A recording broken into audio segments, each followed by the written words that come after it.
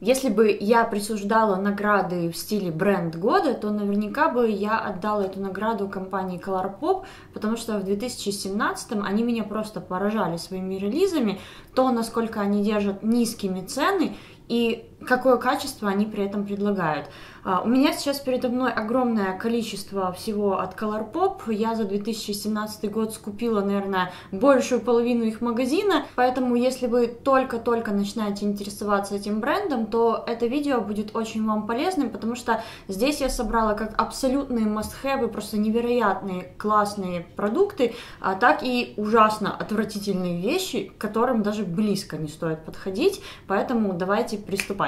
Среди отличников у меня здесь их новый релиз, это только появилось в продаже, это их новые помады из серии Lux Lipstick. Меня эти помады очень впечатлили, вот действительно после вот этих вот иссушающих губы, превращающих их в пустыню и просто в жопу курицы, а, когда наносишь вот эту помаду, ощущаешь, что о, наконец-то, вот наконец-то такое маселка на губах. Упаковка очень классная, сама помада тоже очень красивая, то есть эстетически приятно на нее смотреть. По оттенкам я взяла два нюда. У меня это оттенки Эпи и Унамас. Эпи сейчас на мне, Унамас был в предыдущем видео, там, где я делала полный обзор а, косметики Аннели, вот там на мне Унамас. Как по мне, то все хорошо с этой помадой. Упаковка очень хорошая. Я думала сначала, что она будет менее качественная, но она очень тяжелая. Она тяжелее Шанели Диоров вместе взятых. То есть берешь в руки и понимаешь, что это качество. Я думаю, здесь у вас не возникнет сомнения, что это это мой фаворит, потому что это средство у меня уже на донышке, и я уже заказала повторно эту же бутылочку, и сейчас вот с нетерпением ее жду. Это фиксирующий спрей Amber. Вообще они его выпускали как лимитку, но я так поняла, что он настолько понравился покупателям, что они сейчас сделали из него постоянную коллекцию. Я обожаю этот фиксирующий спрей, я всегда его наношу даже не в плане фиксации, для того, чтобы ваши кремовые продукты вместе сплавились с пудрой и превратились в что-то правдоподобное, что похоже на кожу, вот, вот это этот продукт как раз и делает. Тени это, конечно же, тоже огромный фаворит в Colourpop. Вы видите, у меня здесь и отдельные рефилы есть, которые я собирала сначала, пока у них не было палеток. Рефилы это просто потрясающая вещь. Я не буду здесь останавливаться конкретно на каких-то оттенках, иначе мы с вами три часа только об оттенках будем говорить. Я вам оставлю сводчи, чтобы вы посмотрели самых моих любимых, самых ходовых оттенков, которые я всегда использую. А, единственное примечание по поводу рефилов именно матовых. А, единственное, чего не достает в Colourpop, это холодных оттенков матовых, потому что они все теплые. Вот сколько я их не покупала, они вот все просто теплые. Поэтому, если вы любите холодный макияж э, в холодных э, тонах, то вы там, скорее всего, не найдете то, что вы ищете. Что касается палеток, самая удачная палетка, на мой взгляд, именно базовая. То есть, если вам нужна палетка, вот которая вот все будет исполнять, но на базовом уровне. Я вам советую палетку, которая называется uh, Double Intender. Она действительно очень базовая, то есть здесь вы найдете именно то, что вам нужно в плане базовых оттенков. Здесь есть и матовый светлый, и транзитные оттенки, и оттенки для затемнения, бронза и медь, а есть также оттеночек с блестками, он такой чуть попроще, но тем не менее, вот здесь именно собраны базовые оттенки, вот это очень удачная палетка. Если же вам не нужна вот такая вот прям совсем банальщина, и вам нужно что-то поинтереснее, если вы хотите быть в тренде, то для вас палетка Yes Please. А, они ее выпустили первой, и я ее до сих пор считаю очень удачной, но она очень теплая. Вот держите это в голове.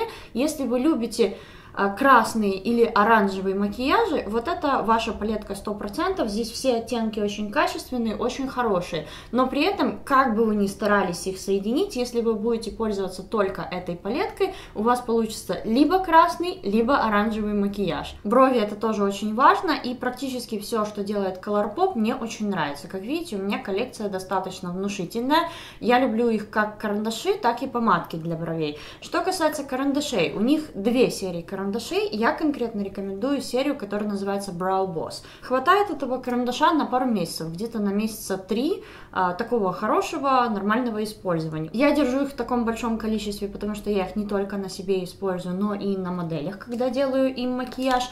И что касается помадок для бровей, то здесь просто выбирайте, что вам ближе, потому что э, помадка для бровей в любом случае брови делает более выразительными. Colourpop изначально выпускали жидкие помады, это то, э, на чем они прославились. Здесь я сильно долго останавливаться не буду. Что касается разных формул, матовая формула, наверное, на данный момент у них одна из самых неудачных. Я не могу сказать, что она ужасная, она не то чтобы прям превращает губы в сахару, но она подсушивает. То есть, если вам не нравится вот такой вот сухой эффект, вы уже от него устали, наверное, матовые помады тогда уже не берите. Но если я могу порекомендовать один оттенок, я 100% буду рекомендовать оттенок Ариба. Это матовая серия, но это просто феноменальный оттенок.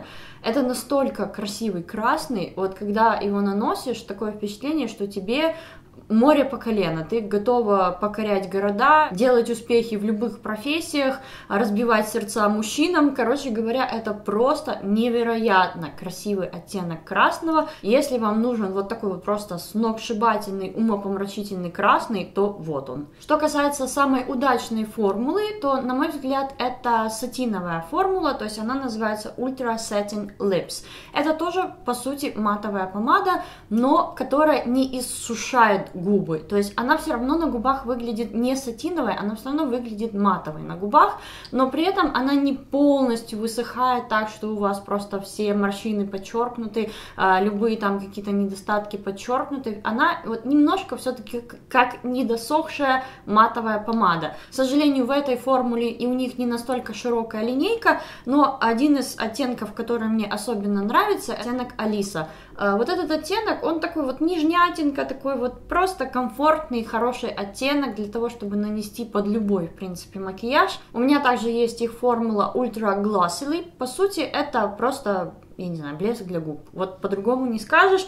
А, я не могу сказать, что это глянцевая помада, это просто блеск для губ. А, блеск очень комфортный, ничего здесь сказать против я не могу. Если вы ищете блеск, обратите внимание на оттенок, который называется Lychee Me. По-моему, это тоже какая-то коллаборация, я точно не уверена. Вот это нюдовый блеск, который подойдет вот под все. И под красный, и под зеленый, и под нюдовые помады, под какие угодно. А чего я не советую брать, это помады из, из э, вот этого Ultra Glossy Lip серии, но с блестками. Вообще, я когда увидела сначала на сайте этот оттенок, я подумала, боже, какая красота, ну это ж так красиво будет выглядеть. Но на самом деле выглядит это отвратительно, это что-то недометаллик какой-то на губах, который превращает вашу помаду вот именно вот что-то такое, как бы с намеком на металлик, но выглядит это отвратительно. Праймеры в виде спрея.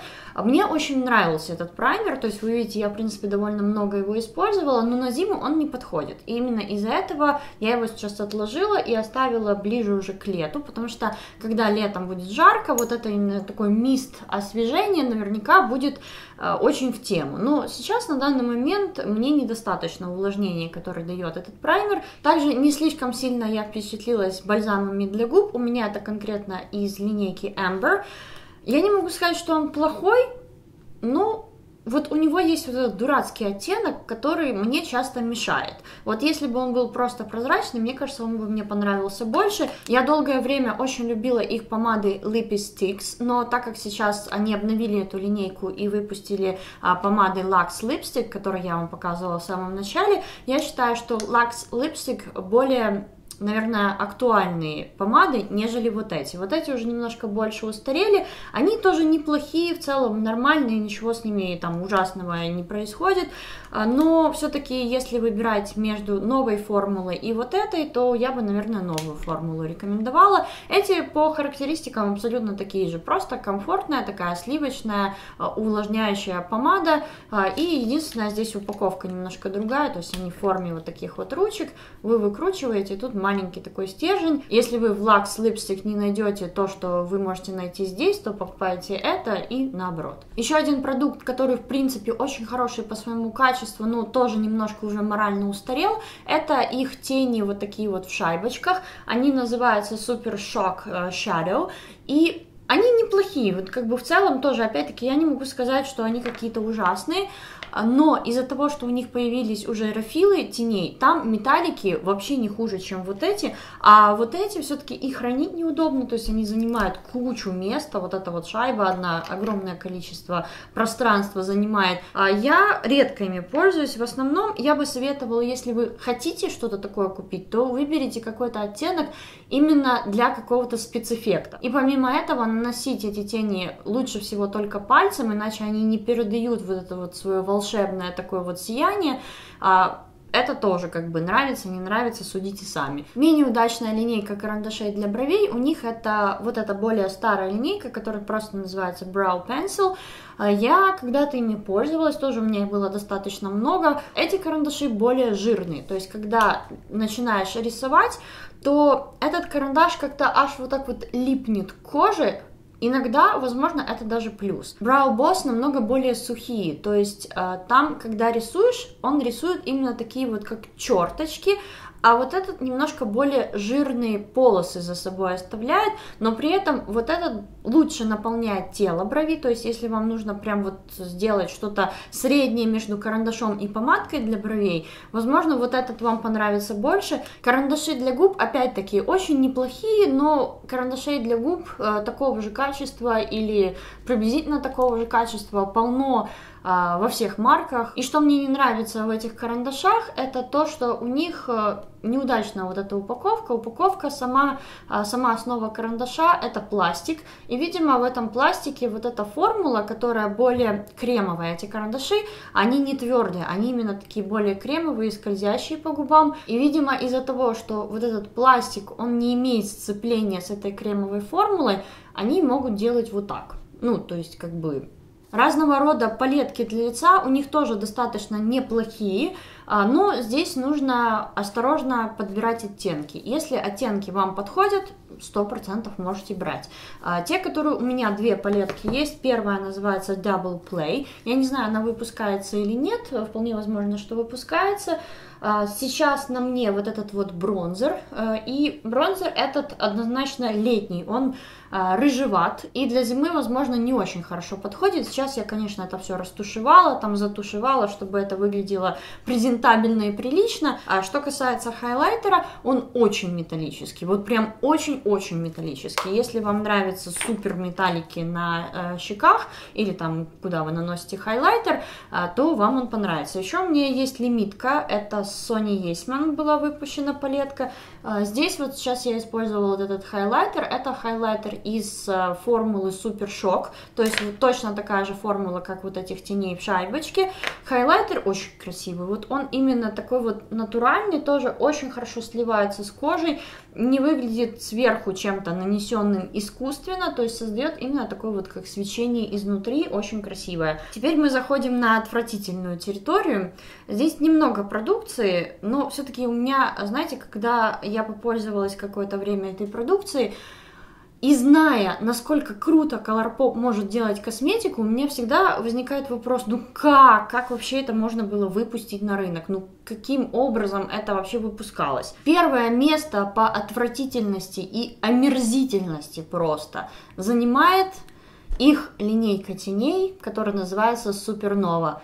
Это просто какой-то кошмар. Я настолько ужасных теней в своей жизни, наверное, никогда не пробовала. Как это нанести на глаза, для меня остается загадкой. Потому что если начинаешь наносить именно с аппликатора, вот так вот аккуратненько, это наносится комками, и причем в одних местах это комки, а в других местах это залысины.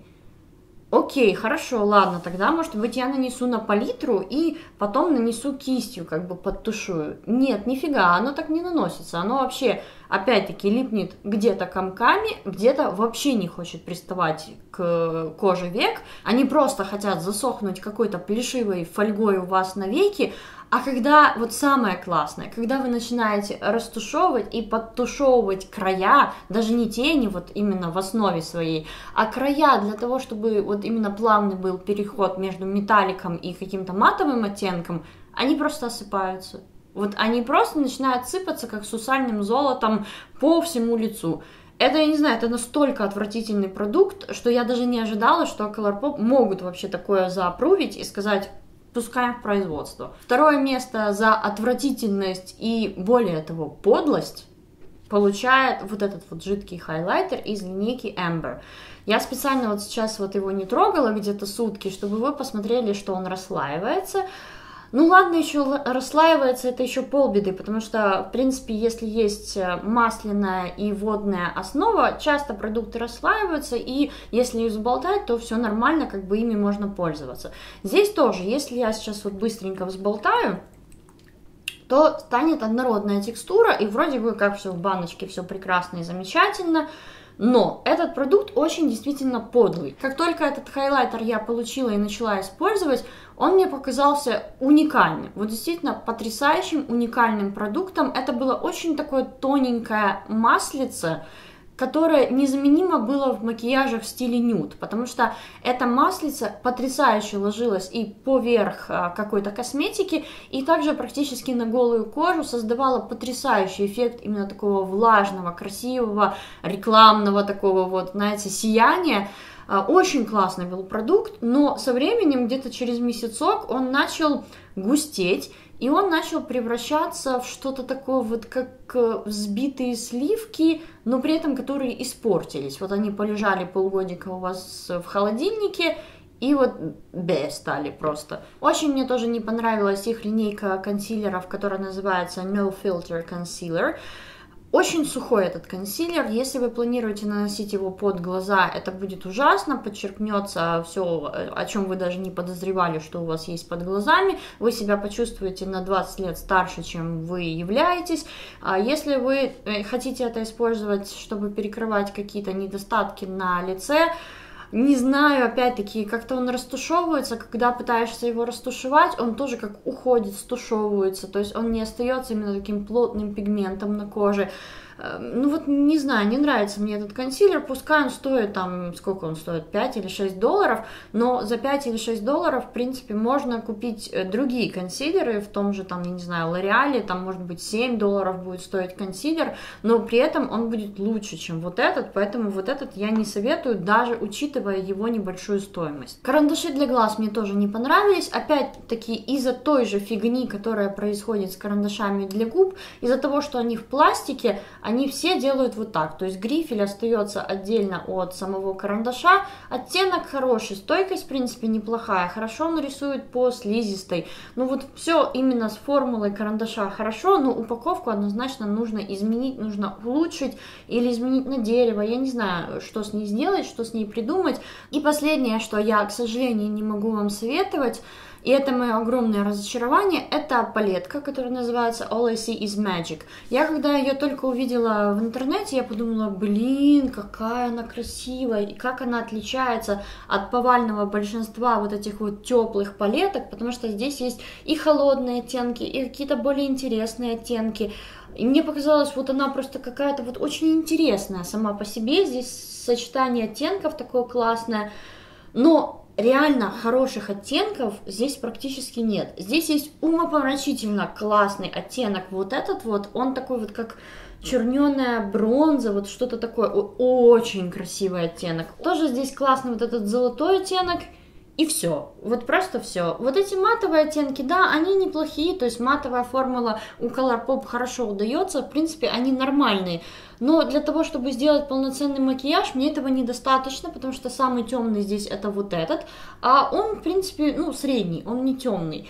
А, металлики здесь очень странные. Вот этот жутко осыпается, вот этот какой-то некрасивый. Вот этот вот, как он красиво выглядит э, в палетке, но он превращается в какую-то грязь. Когда начинаешь его тушевать, вот этот зеленый полностью уходит и осыпается, и остается что-то грязное, болотное, непонятно, отвратительно какое, просто мерзко он тушуется абсолютно. Вот этот ужасно осыпается. Поэтому эта палетка вообще одна из, наверное, самых неудачных вообще в принципе в Colourpop. Поэтому при всем изобилии у них именно хороших теней а, и палеток я вам просто не могу это рекомендовать, потому что если вы это купите, вы можете подумать, что все остальные тоже такие, а все остальные далеко не такие. Ну что ж, у меня все. Я очень надеюсь, что это видео было для вас полезным. Если вы никогда у Colourpop ничего не заказывали, у них от 50 долларов бесплатная международная доставка и от 30 долларов бесплатная доставка по США. Можно заказать куда угодно эту косметику. Многие меня спрашивают, где это можно купить в каком-то определенном городе, но официально Colourpop представлен только на официальном сайте. Я это все покупала на официальном сайте, никто мне это не присылал ни на обзор, никак там не оплачивал, не спонсировал это видео.